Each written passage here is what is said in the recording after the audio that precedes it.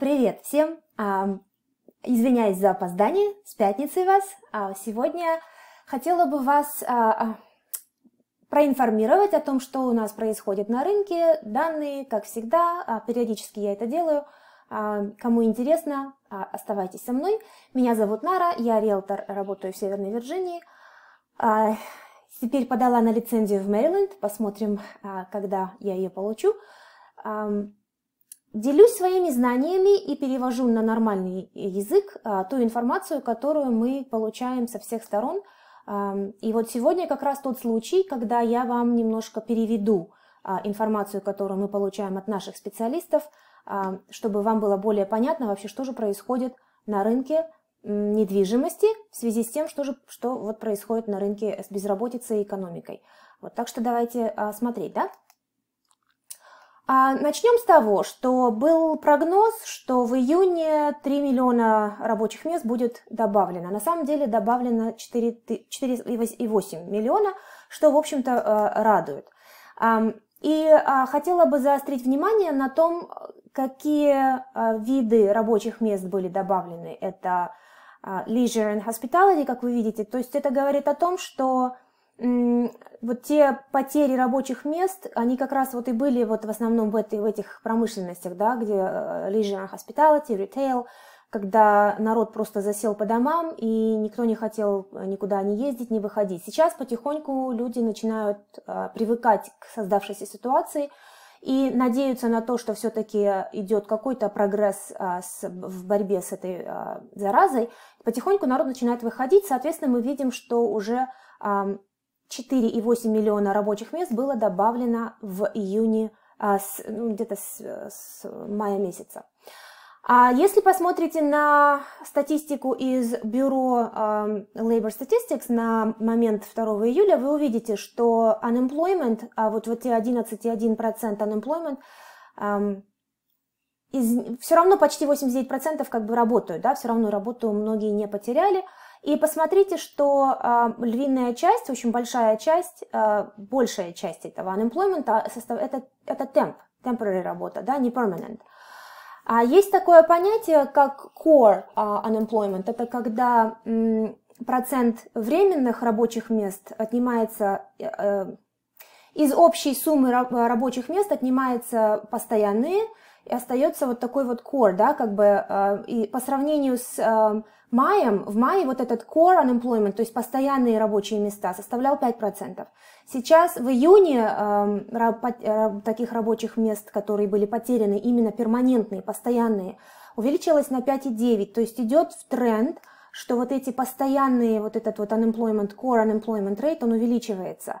Но по сравнению с 2010 годом он все равно относительно низкий. То есть на это тоже можно внимание обратить. А еще одну информацию хотела бы вам дать. А, это вот статистические бюро нам дают, что из всех forbearance, forbearance это когда человек не может платить его mortgage, но он а, теряет работу, теряет доход и не может оплачивать, допустим, mortgage и договаривается со своим банком, что вот я не буду платить там сколько-то месяцев, эту сумму банк добавляет в в конец кредита, там у них есть своя, э, свой как бы протокол. Так вот, из таких людей, которые не могут заплатить за mortgage, 59% э, имеют больше, чем 30% equity, 77% у них как, как минимум 20% equity в доме. А, как мы раньше говорили, да, equity – это та часть стоимости дома, которая уже принадлежит хозяину. То есть это э, стоимость дома минус э, сумма кредита, и вот остаток – это именно equity. Так вот, посмотрите, сколько людей, 90% таких по forbearance, у них как минимум 10% equity. Чтобы продать дом, минимум нужно заплатить комиссионных там со всеми другими издержками, ну где-то порядка 6-7%. То есть у 90% людей, которые вынуждены были подать на forbearance, а, они спокойно могут себе позволить продать этот дом, расплатиться со всеми этими издержками и уйти из-под а, mortgage, если у них есть такая необходимость. Очень многие продавцы переживали, что и переживают, что из-за вот этого вируса они не смогут продать свой дом. А 87% таких продавцов, они как бы переживают, да, что дом не продастся. На самом деле 372 тысячи домов было продано в прошлом месяце только в США. И если вы посмотрите на, опять-таки, статистику, которую нам предоставляют наши все um, think tanks, и это все из реальных данных, собираются все показы в Северной Америке, то есть идет информация, скапливается. Мы используем электронные логбоксы, где вся информация скапливается в одном центре, и в этом центре идет анализ а, того, что происходит. И как вы видите, на март месяц, до марта месяца шел очень такой хороший рост а, количества показов домов. А в марте все это рухнуло. И посмотрите, опять пошел рост. Мы опять потихоньку начинаем, ну даже я бы не сказала потихоньку, но мы хорошо уже как бы количество показов а, нормализуется. Смотрите. И вот вы увидите, что в среднем по нации, да, по всей, по, по США, 21% а, по сравнению с прошлым годом идет увеличение именно количества показов. А, наша, мы считаемся где-то вот south, да, хоть мы немножко и не, не мы, можно сказать, что мы где-то к northeast, но наша Вирджиния нас э, почему-то э, к, к югу а, при, при, приклеивают, как бы при, э, прикрепляют. Поэтому наша статистика где-то примерно 23,2. И э, сейчас вот этот граф, который я бы хотела тоже вам показать, это вот Recovery Index. И этот Recovery Index, он рассчитывается из четырех показателей. Спрос, предложение, цена и количество времени на рынке. И как вы видите, э, начиная с мая, э, с мая этого года мы опять идем стабильно наверх мы сравниваем с, э, с baseline на момент 1 февраля, то есть 1 февраля, да, мы шли наверх, потом резко все стало падать, и а, мы опять идем, мы практически приближаемся к нулевому уровню, к 1 февраля. А что происходит на самом деле? Смотрите, новых домов на продажу по сравнению с прошлым месяцем, месяцем увеличилось на 18,8%. Э, вернее, извините, дома, которые только что пошли под контракт. Это pending sales, это под контракта э, дома. 18,8. Новые дома, которые только вышли по сравнению с прошлым месяцем, увеличилось, увеличилось количество на, на 5,2, но при этом количество всех домов на продажу уменьшилось на 21%. А количество новых домов, вышедших на продажу по сравнению с э, прошлым годом, уменьшилось на 16,6%. Что это, о чем это говорит? Как это можно как бы а, понять вообще, что это значит?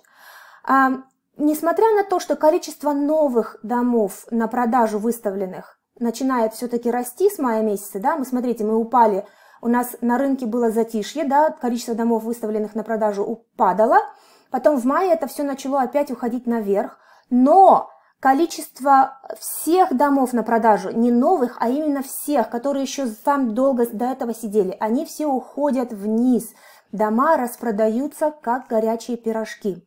Если вы посмотрите на процент домов на продажу по сравнению с всем количеством людей, живущих в домах в США, то вы увидите, что в среднем нормальное э, число это 2,4. Это long-term средний такой коэффициент, да, от всех живущих 2,4% было э, домов выставлено на продажу. Сейчас он составляет 1,2%.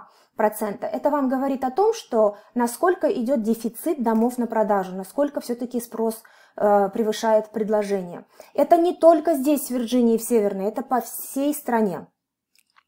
А был, были проведены несколько surveys, где такие большие корпорации, э, включая Fannie Mae, Freddie Mac, Ассоциация риэлторов, Ассоциация банк, э, ипотечных бан, банкиров, были, их как бы спрашивали, что вы думаете будет в 2020, 2021, 2022 году. Посмотрите, все зеленое, да, вы посмотрите, что уже в 2020 большинство этих аналитиков а, говорили, говорят, что а, все-таки цены на дома увеличатся в среднем на 3%.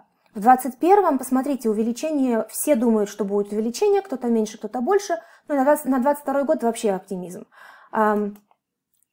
Почему? На чем это основывается? Это основывается на том, что а, процентная ставка очень низкая, она будет держаться очень низкой, так люди, по крайней мере, говорят. Мы, я не знаю, у меня нет э, кристального шара, я не могу ничего обещать, но люди говорят, что она еще будет держаться на низких уровнях.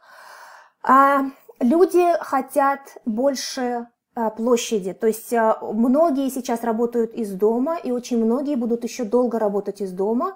Поэтому а, необходимы дополнительные комнаты, откуда человек может работать, разговаривать по телефону без всяческих помех. а, где, а, то есть это, э, соответственно, больше площади требуется. Плюс люди хотят уехать из квартирных, многоквартирных домов или там мест, где очень много сконцентрировано жилья, подальше – у меня очень многие клиенты хотят уехать на землю, где, где дом стоит на большом участке, чтобы к соседям слишком близко не было. И я сама вижу такой тренд. То есть это на самом деле люди действительно так хотят э, уезжать подальше от города, потому что, в принципе, в офис уже ездить не надо. Очень многие организации поняли, что они могут действительно нормально держать своих э, работников, работая из дома. Уже необходимость кататься в DC постоянно каждый день нет, и ее долго не предвидится. Поэтому люди готовы уезжать, если есть интернет и есть работа, то почему нет, да?